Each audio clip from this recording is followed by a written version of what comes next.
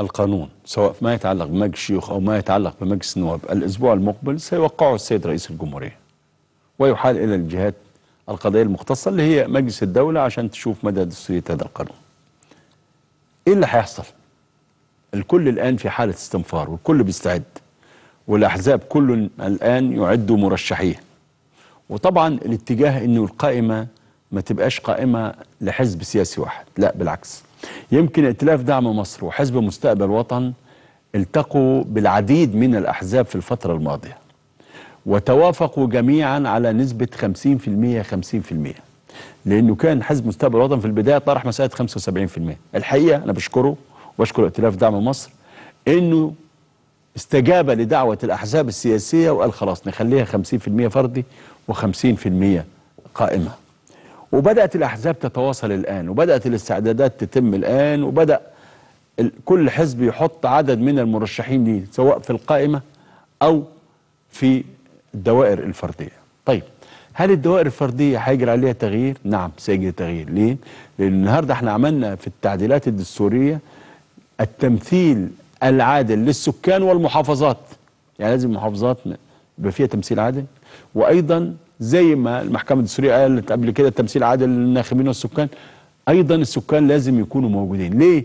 لأن في دوائر حرمت قبل ذلك. مثلا دائرة قفط قبل كده حرمت رغم إنه كان فيها ما لا يقل عدد 75 ألف ناخب مثلا ويمكن كانوا هم طالبين 100 ألف ناخب أو حاجة زي كده. فأنت حرمت دائرة بوزن قفط من إنها تمثل دائرة بوزن الوقف إنها تمثل. النهارده هيبقى موقف دائرة مثلا زي مركز نصر النوبة إيه؟ اللي هي بتطلع لنا واحد من أبناء النوبة. هل هيتوه في ده؟ لا ما هو لازم يبقى في تمثيل أيضا لأهلنا في النوبة وقس على ذلك. لا أريد أن أدخل في تفاصيل عديدة في هذا الأمر. طب إمتى الانتخابات هتحصل؟ كل الترجيحات بتقول طبعا لازم يكون نخلص ونعمل الانتخابات 60 يوم قبل انعقاد المجلس الجديد. المجلس الحالي دلوقتي ده مفروض مستمر لغاية 9 واحد. قد ينهي جلساته الأيام الجاية وقد يعقد جلسة في أكتوبر لكن دور الانعقاد بتاعه مستمر حتى 9 واحد عشان يكمل الخمس سنين لأنه الدستور بينص ان مجلس النواب خمس سنين. لو بدأنا ممكن يتفتح باب الترشيح خلال فترة قريبة. يوم الأحد هتجتمع الهيئة الوطنية للانتخابات عشان تبتدي تناقش وتحدد المواعيد وتقر قانون تقسيم الدوائر. التقسيمة الجديدة هيكون شكلها إزاي؟ هل هتضم دوائر مع بعض ولا لأ؟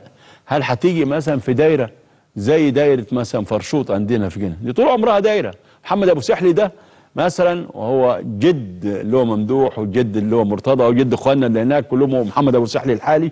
ده موجود من برلمان 1866 موجود في مجلس شورى النواب.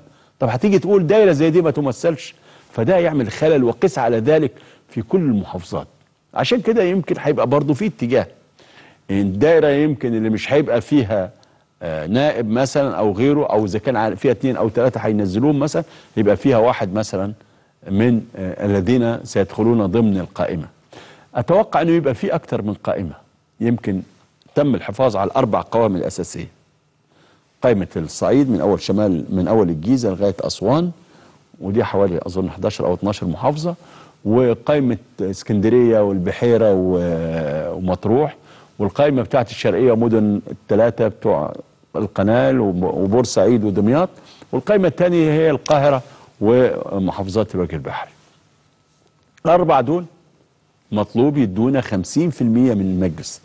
المجلس هيكون 568 عضو. مجلس الشيوخ هيكون 300 عضو.